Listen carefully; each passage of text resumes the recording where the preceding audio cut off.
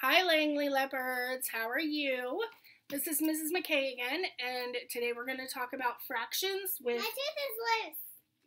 with Taylor and Braden. Taylor and Braden, say hi. Hi, my tooth is loose. Okay, thank you. Okay, so we're going to talk about fractions, and we're going to use clementine oranges to talk about fractions. Taylor was telling me she wanted oranges with her lunch. So once you peel them, like I've already done, then you get to divide them into sections, right?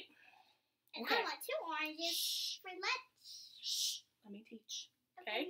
So I took my orange like this and I broke it into two pieces so far. See, one, two. So that gives us what?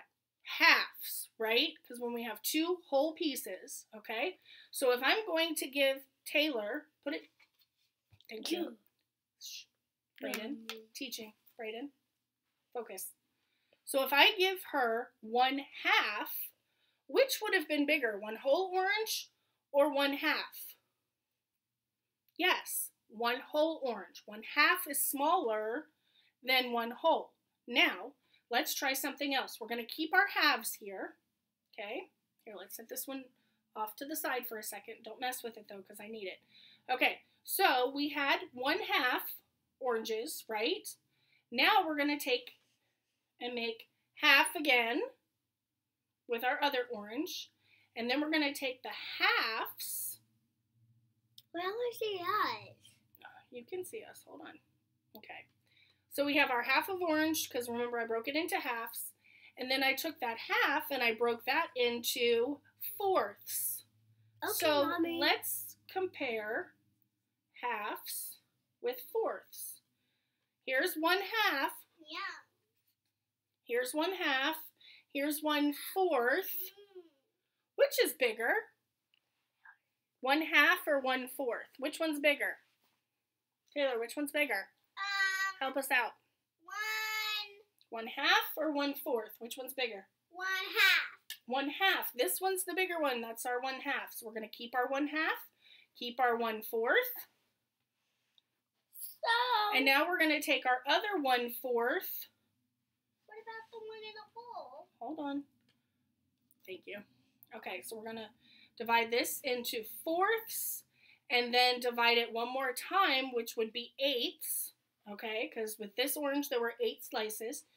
So if I have one half, one fourth, one eighth, would we put those in order? Which one would be the biggest?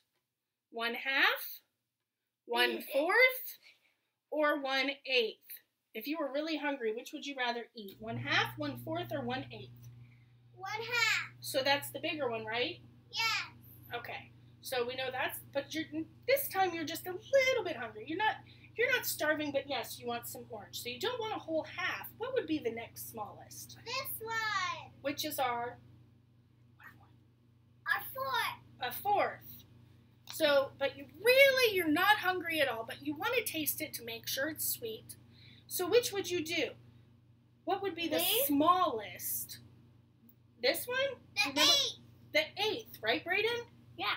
Okay. So to put them in descending order, going down, you're starting with the biggest to go to the smallest. One half, one fourth, one eighth, right? Right. And that's so cool because they're oranges, and I'll be right back because I have to go through this. No, wait. Okay. All right. So we are going to clean up our mess. That's just a little small lesson with fractions. Take a look around you and see what fractions you have. Are you cutting fruit up too? Are you dividing oranges? Are you cutting apples to share with your friends? Are you baking a cake, baking brownies, making pizza, ordering pizza? Sometimes you have to cut it extra to get more slices, right? But once you put more slices in it, oh those slices those slices are smaller, right? So the more slices you have, like our eighth instead of our half, the smaller those pieces are, right? So let's keep that in mind. Take a look and enjoy this time that you can look for fractions in your real life at home. Thank you. Have a fabulous day, and I'll see you again soon. Bye! Yummy!